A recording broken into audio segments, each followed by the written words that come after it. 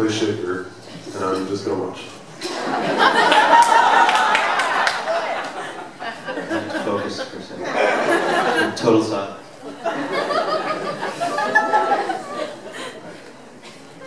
How was that? That was pretty good.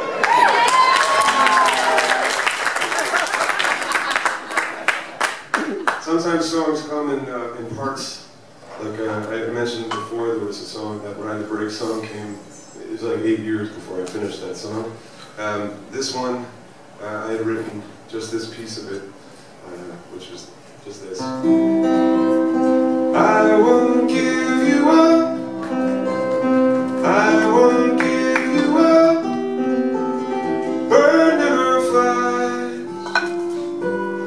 I didn't know what to do with that. So I enlisted the help of a, a friend of mine, Gary Louris, who sings with the Jayhawks. Uh, great musician, great writer.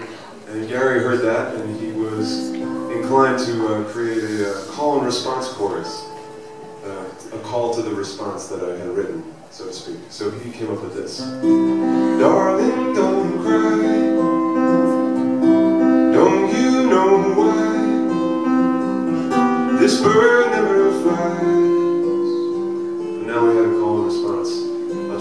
parts once. It should sound something like this. Darling, no, I won't give you up. Don't you know I won't give you up. This bird never, bird never flies.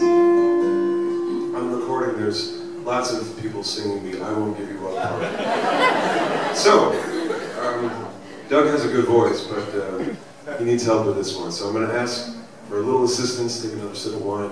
Maybe you can help me with this. I won't give you up. I won't give you up. And bird never flies. Can we try it? Let's give it a shot. Doug, just watch Doug and do what he does. You can actually play drums on your seat if you want.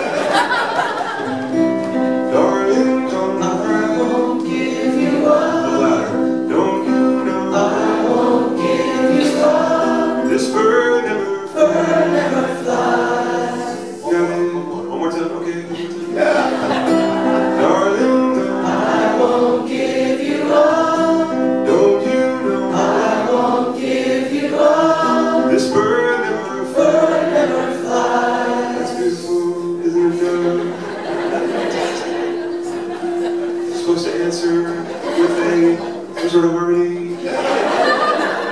It was great. That's an octave. Also an octave. It was great. I don't know what that is. All right, you guys think you have it, right? You got the song now? So here's Bird Never Flies. Thank you for singing along on this one.